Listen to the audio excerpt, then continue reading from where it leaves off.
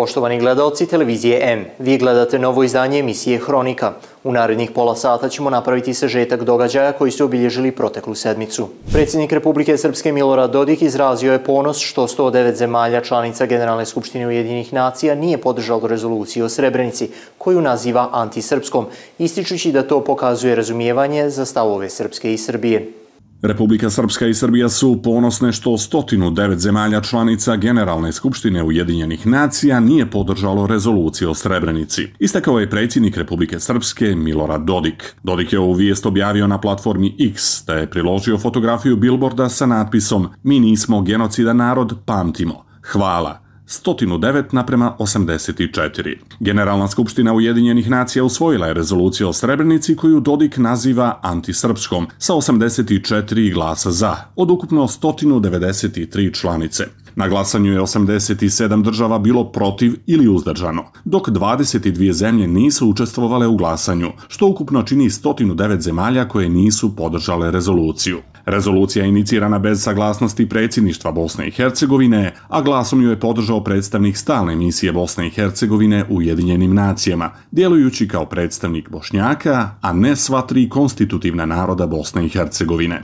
Dodik je ponovio stav da Republika Srpska nije genocidan entitet, te izrazio zahvalnost zemljama koje nisu podržale rezoluciju, interpretirajući to kao znak podrške i razumijevanja za stavove Srpske i Srbije. Ova rezolucija nije usvojena zahvaljujući državama koje su prepoznale nepravednost i jednostranost ovog dokumenta, dodao je Dodik. Pitanje Srebrenice ostaje jedno od najosjetljivih tema u regionu, a nedavna glasanja i reakcije dodatno ističu složene političke i etničke tenzije, koje i dalje oblikuju odnose među narodima Balkana.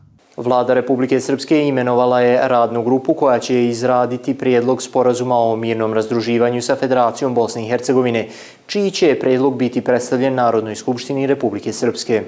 Vlada Republike Srpske imenovala je danas radnu grupu za izradu sporazuma o mirnom razduživanju Republike Srpske sa Federacijom Bosne i Hercegovine. U radnu grupu imenovani su ministar pravde i podpredsjednik vlade Republike Srpske Miloš Bukelović, ministar unutrašnjih poslova Siniša Karan, pravobranilac Republike Srpske Milomir Govedarica te pravni predstavnik Republike Srpske Lazar Stipanović. Saopšteno je iz biroa vlade za odnose sa javnošću. Imenovani su i generalni sekretar u kabinetu predsjednika Republike Srpske Jelena Pajić-Baštinac, generalni sekretar vlade Srpske Dalibor Panić, direktor Republičke uprave za geodetske i imovinsko-pravne poslove Dragan Stanković i direktor Poreske uprave Goran Maričić. Zadatak radne grupe je da sačini prijedlog sporazuma o mirnom razduživanju Republike Srpske sa Federacijom Bosne i Hercegovine, kojeg će vlada Srpske predložiti Narodnoj skupštini Republike Srpske. Ministar rada i boračko-invalidske zaštite Republike Srpske Danijel Egić izrazio je sumnju u autentičnost broja žrtava u potočarima što smatra omalovažavanjem stvarnih bošnjačkih žrtava.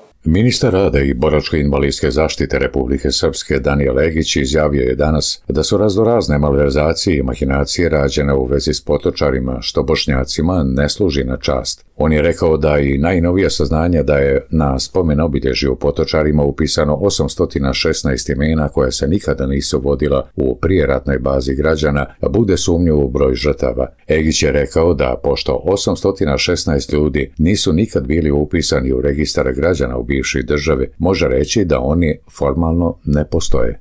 Razno razne malverizacije i mahinacije su rađene a, vezano za potočare. Mislim da, su, da je sam bošnjački narod na taj način omalovažio svoje žrtve. Nesporno je da je bilo žrtava, da je bilo mnogo žrtava, ali evo mi smo a, do prije, ne, ne, do prije dva, tri dana imali podatak da je tamo sahranjeno preko 100 ljudi koji su živi.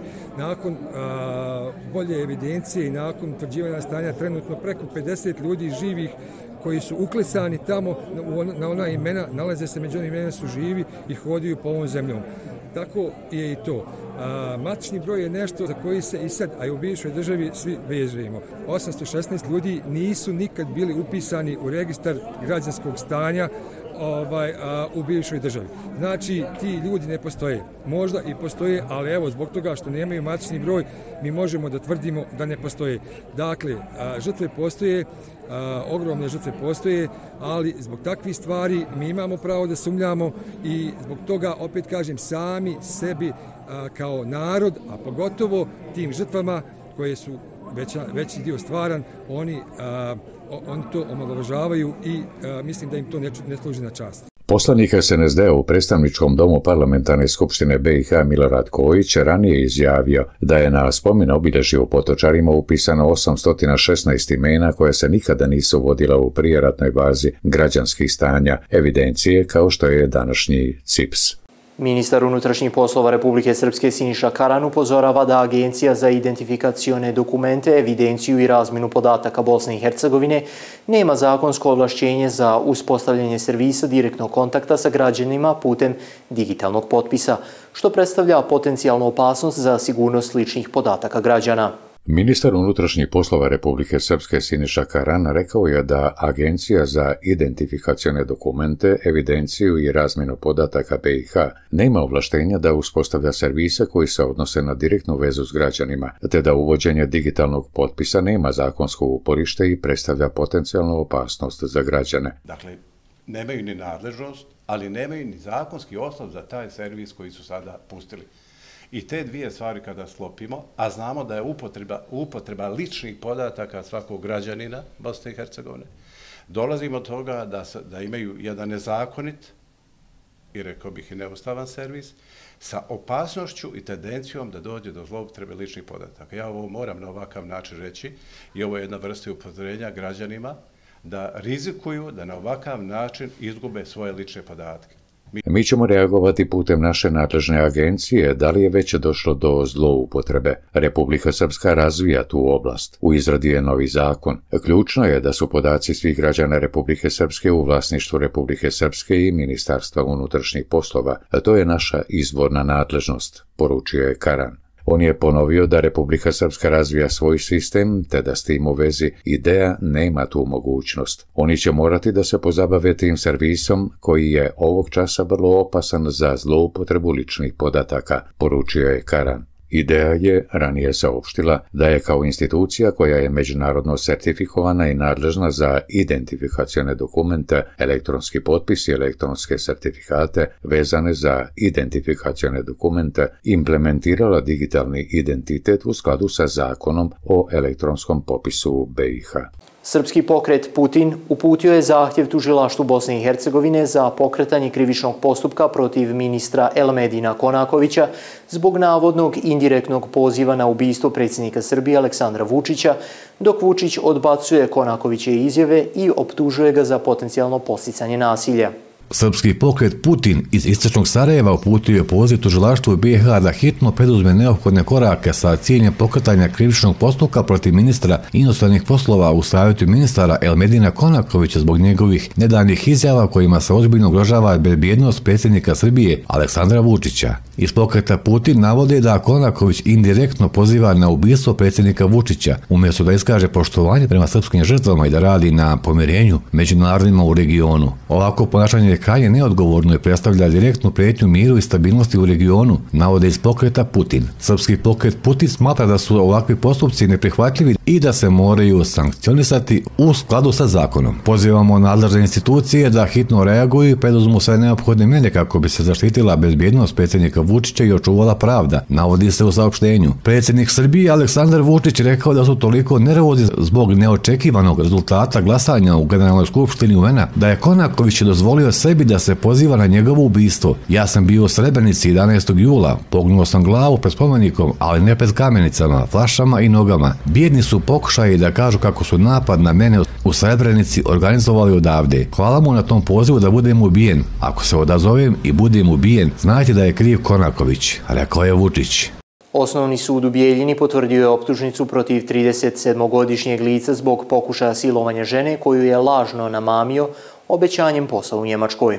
Danas je osnovni sud u Bijeljini potvrdio optužnicu protiv 37-godišnjeg Nenada Vidakovića zbog pokušaja silovanja. Iz okružnog tužilaštva u Bijeljini saopšteno je da je Vidaković krivično dijelo silovanja u pokušaju počinio 14. januara prošle godine u svom vozilu na seoskom putu u Bijeljini. On je to učinio u namjeri zadovoljenja seksualnih potreba mimo volje ženske osobe OP iz Brčkog, kojoj se lažno predstavio kao brat poslodavca sa kojim je na društvenim mrežama dogovorila posao čuvanja djeteta u Njemačkoj za platu od 1000,5 evra, navodi se u saopštenju. Nju je iz Brčkog ispratio njen brat vjerujući da ide na put u Njemačku, kojeg je nakon nasrtaja Vidakovića uspjela krišom pozvati mobilnim telefonom iz automobila, tražeći pomoć, navedeno je u optužnici. U pokušaju da spreči silovanje, OP je odgurivala Vidakovića od sebe, udarala ga rukama i vrištala.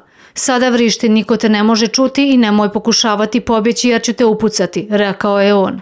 Osumnjičeni je nastavio vožnju do obližne kuće, vlasništvo RV, pozvao ga da mu pokaže glavni put, što je OP iskoristila da izađe iz vozila i zatraži pomoć od RV koji je pozvao policiju. U optužnici se navodi da je Vidaković pokušao drugo lice prinuditi na obljubu upotrebom sile i prijetnje da će neposredno napasti na život tog lica, čime je učinio krivično djelo silovanja u pokušaju.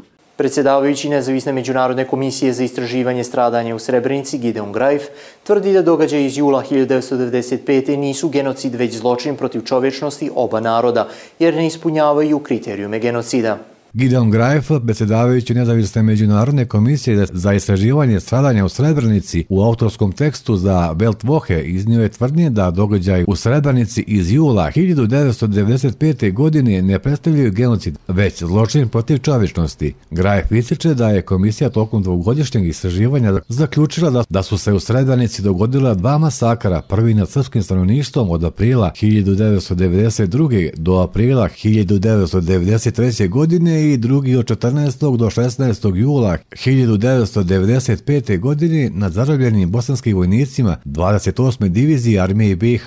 Grajef objašnjava da genocid podrazumiva nameru da se potpuno ili dijelimično uništi nacionalna, etnička, rasna ili vjerska grupa. Prema njegovim riječima, događaji u Srebrenici ne zadovoljavaju ovaj kriterijum jer nisu postojali dokazi o nameri da se uništi cijelo muslimansko stanovništvo. Ubijeni su uglavnom vojno sposobni muškarci, što prema Grajefovim riječima nije dovoljno da se masakr kvalifikuje kao genocid. On naglašava da je ubijeno manje od 0,4% muslimanskog stanovništva BiH, to je daleko ispod praga za genocid. Grajf također ukazuje na to da su se masakri u Srebrenici dešavali u kontekstu građanskog rata gdje su zločini počinjeni na svim stranama. On ističe da je bitno priznati zločine počinjene nad srpskim stanovništvom, što do sada nije učinjeno od strane međunarodne zajednice. Zaključujući Grajf poziva na slobodu akademskog istraživanja i objektivno sagledavanje istorijskih događaja bez političkih uticaja. Prema njemu događaji u Srebrnici trebaju biti klasifikovani kao zločin protiv čovječnosti, a ne kao genocid, kako bi se izbjeglo iskrivljanje definicije genocida.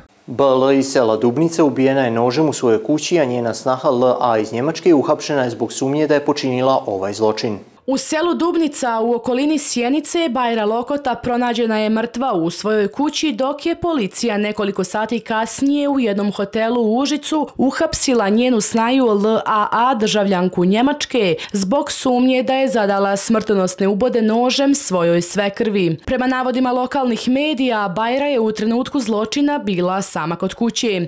Njen suprug je na poziv snaje koja je u procesu razvoda od muža otišao u hotel Užice da se sa sastane sa njom, međutim, prema izvorima bliskim istrazi, osumnjičena je iskoristila ovu priliku jer je svekrva bila sama kući. Kada je svekar krenuo put Užica, LAA se uputila u sjenicu i napala svekrvu u kući, zadavši joj više uboda nožem, nakon čega je i otišla. Krvavo tijelo Bajre Lokote pronašli su rođaci. Jedna rođaka je otvorila vrata kuće i zatekla je u lokvi krvi i odmah istrčala iz kuće i pozvala kćerku ubijene žene. Ubrzo su se okupili rođaci rođaci komšije, a policija je brzo stigla. Nož kojim je izvršeno ubistvo pronađen je pored tijela u sobi. Policija je ubrzo blokirala selo i krenula u potragu za ubicom. Sve ukazuje na to da je osumnjičena i isplanirala zločin. Sumnja se da je svjesno pozvala Bajrinog muža Užice, znajući da će ona u tom periodu biti sama kod kuće. Nakon napada vratila se u hotel Užicu, odakle je namjeravala da napusti Srbiju prije nego Iko shvati šta je uradila, međutim njem plan je propao, ona je uhapšena, bit će saslušana u višem javnom tužilaštvu u Novom pazaru koje vodi istragu. Ivica Dačić, ministar unutrašnjih poslova Srbije, izjavio je da Beograd poštuje Dejtonski sporazum i Republiku Srpsku, te da nikada neće dozvoliti njeno ukidanje,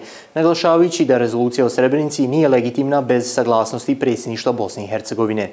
Ministar unutrašnjih poslova Srbije Ivica Dačić poručio je da Beograd poštuje Dejtonski sporazum i Republiku Srpsku u Bosni i Hercegovini i da nikada neće dozvoliti ukidanje Srpske. Govoreći o rezoluciji o Srebrenici, Dačić je ukazao da za njeno podnošenje nije bilo saglasnosti tročanog predsjedništva Bosne i Hercegovine, zbog čega ona nije legitiman dokument. Kada je riječ o Dejtonskom sporazumu, sigurno je da će sada priča ići ka tome da se osporava postojanje Republike Srpske, zbog toga što je ona navodno genocidna tvorevina, rekao je Dačić za večernje novosti. On je ocijenio da će od odnosa druga dva naroda u Bosni i Hercegovini prema srpskom narodu zavisiti kako će se, da li će se i u kom smjeru dalje odvijati odnosi u Bosni i Hercegovini, ističući da Beograd neće dopustiti ukidanje Republike Srpske. Komentarišući odnos Evropske unije prema Srbiji i činjenicu da su skoro sve zemlje Unije glasale za rezoluciju o Srebrenici, Dačić je rekao da Srbija nije gajila iluziju da će neke zapadne zemlje promijenuti svoje stanovište. Nije nama Evropa okrenula leđa u Njujorku jer ona nikada nije ni bila za nas. Mi ćemo naravno da sarađujemo sa Evropskom unijom, dogod je to u našem interesu. Ako naši nacionalni interesi budu ugroženi, tu se onda zna naš odgovor, rekao je Dačić. Senator Republike Srpske Aleksandar Vulin optužuje privremenu vladu u Prištini, posebno Albina Kurtija, za pokušaj otimanja imovine Srba u Leposaviću i Zubinom potoku, dok istovremeno kritikuje Evropsku uniju za nedostatak akcije u sprovođenju briselskog sporazuma. Senator Republike Srpske Aleksandar Vulin izjavio je da Kristijan Schmidt pokušava da otme imovinu Republici Srpskoj po uzoru na Evropsku uniju i zemlje NATO pakta koje otimaju imovinu Rusima i Rusiji, a da Albin Kurti u isto vrijeme sa istim sredstvima pljačka zemlju Srbima u Leposaviću i Zubinom potoku. Komentarišući napad na privatnu imovinu Srba i odluku privremene vlade u Prištini o ekspropriaciji nepokretnosti vlasnika parcela u opštinama Leposavić i Zubin Potok, potpredsjednik vlade Srbije kaže da na Kosovu i Metohiji nije problem privremeni premijer, već Evropska unija koja 11 godina ne želi da sprovede briselski sporazum čiji je potpisnik i garant. Šiptari nikada u istoriji nisu djelovali samostalno. To ne rade ni danas. Zato je čutanje međunarodne zajednice glasna potvrda da Kurti, baš kao što je činio u srpskim zatvorima, radi sve što mu se naredi bez pogovora i sa uživanjem, istakao je Vulin. Vlada samoproglašenog Kosova donijela je odluku o ekspropriaciji nepokretnosti vlasnika parcela u opštinama Leposavić i Zubin Potok. Na ostrovu Hvar sportski avion je pao, povređujući tri njemačke i jednu francusku državljanku, dok policija nastavlja istragu u saradnji sa Hrvatskom agencijom za civilno vazduhoplovstvo. Tri njemačke i jedna francuska državljanka povrijeđene su prilikom pada sportskog aviona na ostrvu Hvar. Uviđajem je utvrđeno da je avionom koji je juče pao na Starogradskom polju kod sportskog aerodroma upravljao državljanin Francuske, a sa njim je bila i francuska državljanka koja je i povrijeđena, objavila je policija. Povrijeđene su njemačke državljanke koje su se kretale makadamskim putem uz aerodrom na koji je pao avion, prenose i hrvatski mediji. Sve četiri povrijeđene nalaze se na ljekarskom medicinskoj obradi. Policija navodi da će nastaviti istraživati nesreću u saradnji sa Hrvatskom agencijom za civilno vazduhoplovstvo kako bi se do kraja otvrdile sve okolnosti. Lice DD iz Zemuna priznalo je policiji da je prije 8 godina zakopao tijelo svog oca u porodičnoj kući i primao njegovu penziju, što je dovelo do obdukcije i istrage o uzroku smrti. Danas u Zemunu došlo je do rasvjetljavanja monstruoznog zločina kada je sin DD pozvao policiju i priznao nezamisliv čin koji je držao u tajnosti punih osam godina. Naime, DD priznao je da je prije osam godina zakopao tijelo svog oca BD u porodičnoj kući. Policajci iz Zemuna odmah su reagovali na poziv i uputili se u porodičnu kuću gdje su pronašli lobanju i dijelove skeleta muškarca BD čije je tijelo zakopano na dubini dubini oko 1 metar. Ovaj slučaj dobio je dodatnu složenost kada je otkriveno da je sin DD tokom svih ovih 8 godina primao penziju svog preminulog oca. Ova činjenica dodatno je pojačala tajanstvenost i zagonetnost situacije. Više javno tužilaštvo u Beogradu odmah je naložilo obdukciju tijela kako bi se utvrdio tačan uzrok smrti muškarca, a očekuje se da će ovaj postupak donijeti nova saznanja koja će rasvijetliti ovaj tragičan slučaj. Detalje o motivu motivima koji su naveli sina da sakrije smrt svog oca i zadrži tajnu u ovom gnusnom činu još uvijek nisu poznati, ali će istraga koja je sada u punom jeku nastojati razotkriti sve aspekte ovog događaja. Dežurni tužilac Višeg javnog tužilaštva u Beogradu naložio je eshumaciju tijela nesrećnog čovjeka i obdukciju kako bi se utvrdilo na koji način je BD preminuo. Očekuje se da će ova istraga pružiti odgovore koji će osvijetliti tamnu mrlju ovog nemilog događaja. Maloljetnik FB osumnjičen za ubistvo Đorđa Mijatovića uhapšen je i priveden na saslušanje u Višem sudu u Beogradu.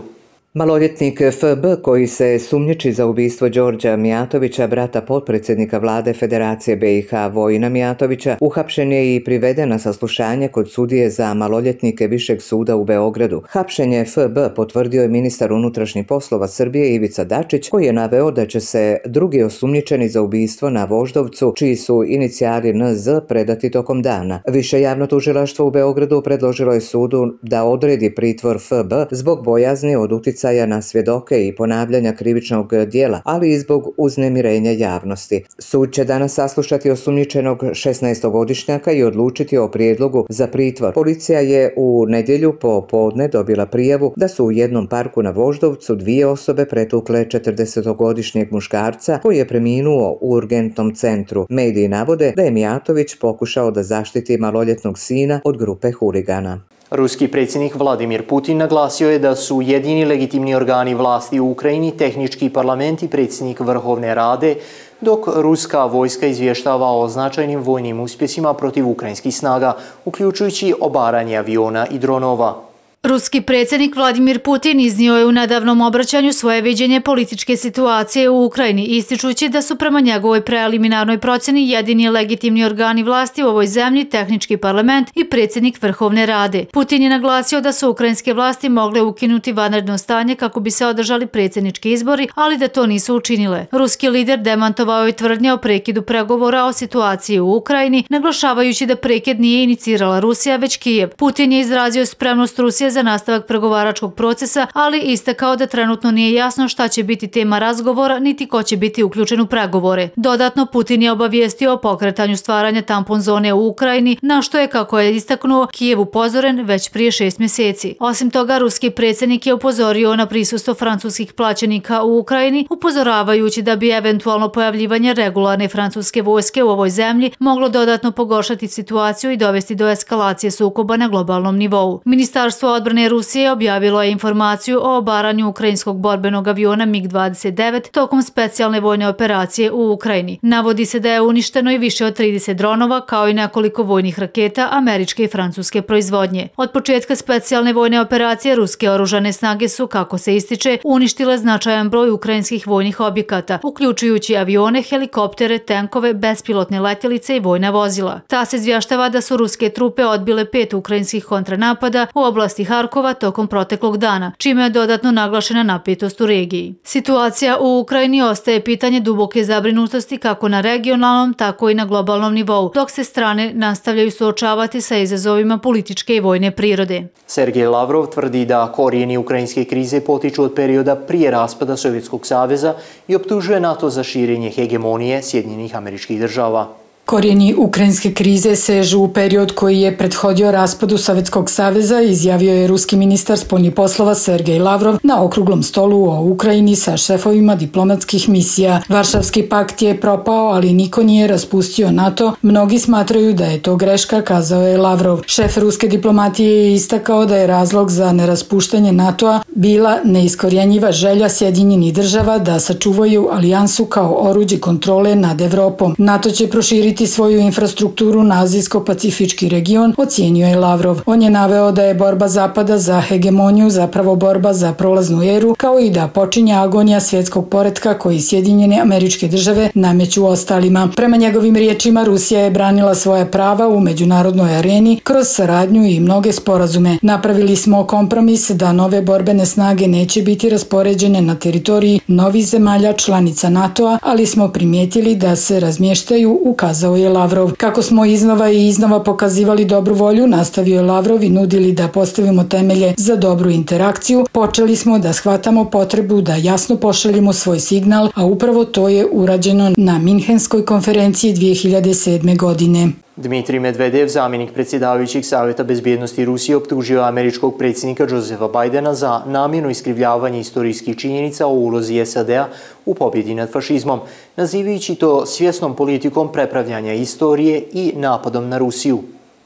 Sjedinjene američke države na čelu sa predsjednikom Josephom Bidenom namjerno pokušavaju da iskrive istorijske činjenice, izjavio je agenciji TASA zamjenik predsjedavajućeg savjeta bezbjednosti Rusije Dmitri Medvedev. On je podsjetio da je Biden kao potpuna neznalica rekao da je američka vojska pobjedila fašizam i oslobodila Evropu. To nije senilna demencija, već svjesna politika korigovanja istorije. To je rat protiv naše zemlje, naglasio je Medvedev. Medvedev je napomenuo da iza Rusije stoje milioni ruskih državljana koji su pali u ruke fašistima. Nemamo pravo da izdamo njihovo sjećanje, posebno u svjetlu pokušaja da se to sjećanje izbriše i da se prepravi istorija, dodao je Medvedev. Pratili ste novo izdanje emisije Hronika. Hvala na ukazanom povjerenju. Do gledanja.